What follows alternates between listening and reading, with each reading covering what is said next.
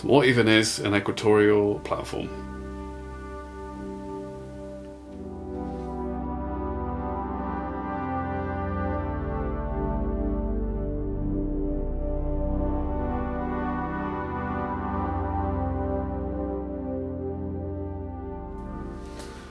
So when I first got this, when this first arrived, uh, I asked people, the good people of Twitter, what they thought it might be.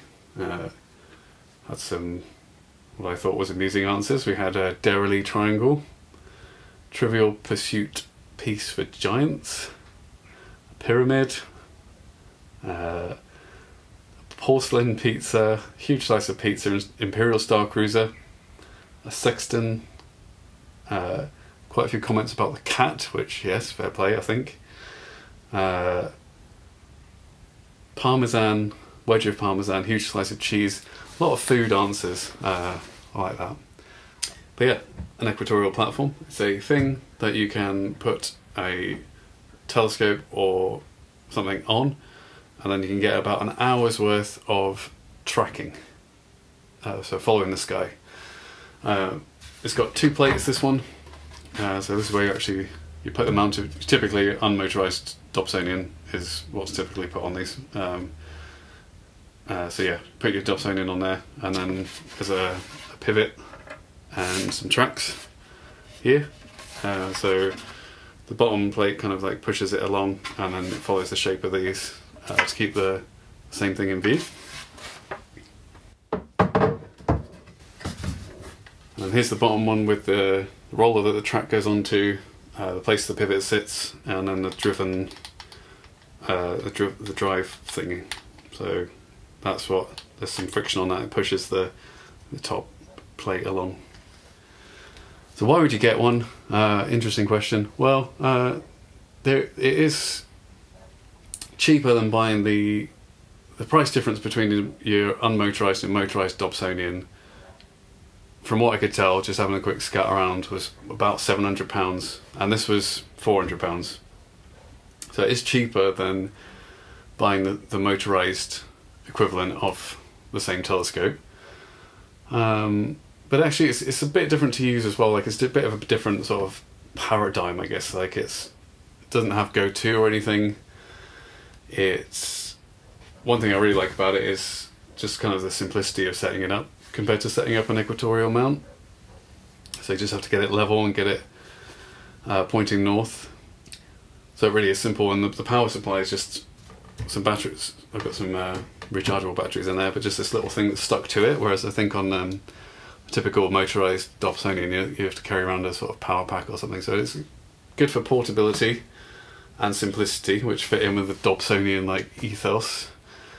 And I think, yeah, it definitely, you know, for that very reason, it feels like it stays out of the way when you're observing. Just like the benefits of using the manual Dobsonian, which I've always loved for many years of observing, they sort of carry through to this. Like you just, there's nothing between you and the sort of observing. You just get on with it. There's no like, uh, no need to use a hand controller or, or anything like that. Um, so I do like that about it, and uh, it's also flexible. So I use my own scope is um, an eight-inch Dobsonian telescope, which I can put on here no problem, and my outreach organisation has a 16-inch manual Dobsonian, which can also go on this. This is the the larger uh, model that uh, David Lukehurst makes. So yeah, it can take telescopes up to about 20 inches, I believe. So you could, you know, depending on what you've got, rather than if you wanted to go to motorized and you have to buy both telescopes twice with motors, then you know you only have to buy this once. Which kind of could make sense depending on what you're up to. Uh, definitely. You know what? I, I really quite like this. Um, I really quite like it. It's uh, I don't have that many sort of hand, properly handmade things. So think about my sort of Skywatcher Dobsonian tube. Like it's sort of Chinese made, and it's been great. But I mean, it's like not the kind of quality that this is. So it feels kind of nice to have a quite posh thing uh, like that. Uh, for visual use, it's I would say amazing. Um, when you're at the eyepiece, it just works kind of seamlessly. I kind of love it, and, and you know, like what if you're used to the manual Dobsonian anyway, it's just luxury to have that exact same experience, but your target stays in view for a, really long time. I've used it for some planetary imaging at about uh, three meters focal length, and it does work for that. Um, finding it tricky with my Dobsonian because it's got a bit of wear and tear. I find it hard to do fine adjustment, uh, which is a problem. I'm sure there might be a solution to. I don't know. And then for Deep Sky, I haven't I haven't got there yet with the the platform and Deep Sky, so I haven't. Uh, I think I need to work out some way of getting the alignment more precise. But even then, they're not really made for Deep Sky, uh, so the it's quite a crude mechanism for pushing it. And I notice when I'm on a planet or something, sometimes it'll stick for a bit and then sort of catch up to itself. Or it's not not really made for deep sky uh, imaging, but not to say that that's impossible or anything. But, but yeah, having good time with this. Um, uh, so should should you get one? Uh, I think it probably depends what you've got already. Uh, so in my case, having those two telescopes I wanted to use this with, like it just kind of fits into that equation really nicely and depending on what, what you've got and what you want, it may or may not do that. Uh, I like the portability. Uh, I like the the quality, uh, the simplicity of it, uh, definitely. And then I'm really into planetary at the moment, so I don't mind the fact that I haven't got it to work out with deep skies yet. And uh, using it for visual is just just brilliant. So yeah, I do like it.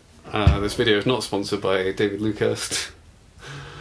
Uh, but it was very nice to buy a telescope uh, accessory off him. He, uh, he was treating me well as a customer, so definitely appreciate that as well. Uh, but yeah, if you've got any questions about equatorial platforms, I can try and answer them in the comments or direct you to someone who will know the answer. Um, I understand that if you have the chops to make things, that it's actually fairly doable to construct your own equatorial platform.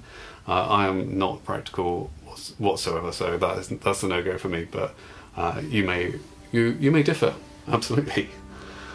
Uh, so yeah, that's it from me for this one. Uh, take care out there. See you ladies. Bye.